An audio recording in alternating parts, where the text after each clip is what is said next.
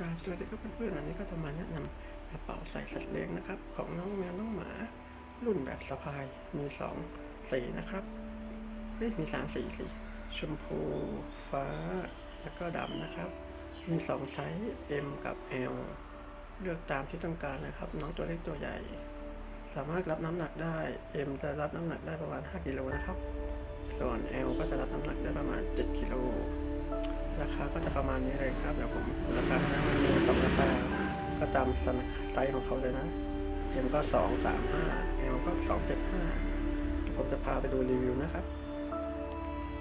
นี่ครับขนาดก็ตามนี้เลยนะ มีสองขนาดให้เลือกนะ M และ L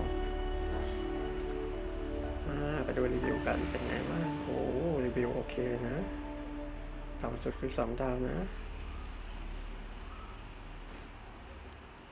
รีวิวประมาณนี้นะครับ ใครสนใจก็เดี๋ยวผมทิ้งลิงก์ไว้ให้นะ